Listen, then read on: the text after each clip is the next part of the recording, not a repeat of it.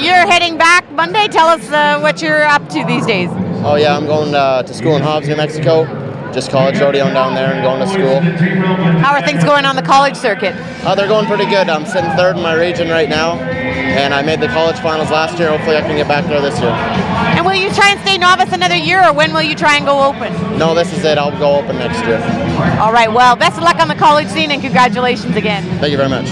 And Zeke, we had a chance to talk the other night. Uh, probably not the way you wanted to end it today, but uh, still overall, were you happy about your week? Oh yeah, I was I was real happy. I I uh, would have liked to ride that horse to, tonight, but uh, you know it don't go your way all the time. And, and I was just blessed to have good horses and uh, and tried my hardest and did the best I could with them. Right. What was your best ride of the week? The one that he'll be talking about the most? Uh, probably the second round on uh, on the horse, uh, Bruce Sundstrom's Big Jim, and uh, I won the round as 80, so that, that was kind of cool. Now, even though you won every round but today, I mean, Kale was right on your heels, and it was really close right to the end. Yeah, yeah, it really was. He uh, he was second right behind me every every round, so I uh, I was a little nervous and I bucked off there and. I kind of shook my head. And I was laughing. I'm like, man, I really messed that one up. But it, it ended up working out in my favor. So. So you have to give uh, Jacob a thanks for that. Yeah, man, I was cheering so loud for Jake when he was going. Man, I think I was, the whole stadium could hear me in here. I was, I was, I was hollering loud.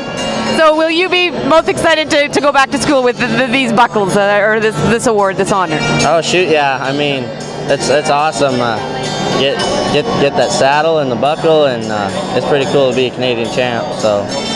And what's being Canadian champ mean to you, Kody? Oh, same thing. It's just something you've always wanted to do, and it's just awesome to get it done. You know, tonight's uh, opening was all about the future of rodeo.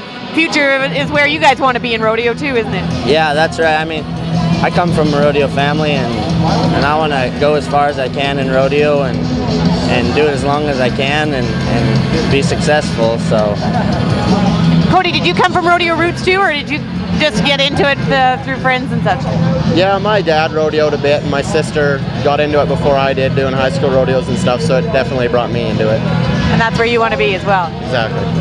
All right, the future of rodeo and a couple of our novice champions. Congratulations. Hey, thank you. Thanks. Great, thank you.